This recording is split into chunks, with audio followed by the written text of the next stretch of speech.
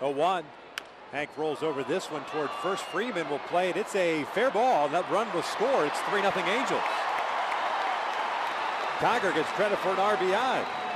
His 12th of the year. It almost seemed that Freeman fielded that ball thinking it was going to be called foul.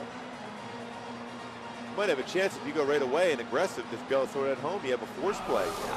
It would have been very close.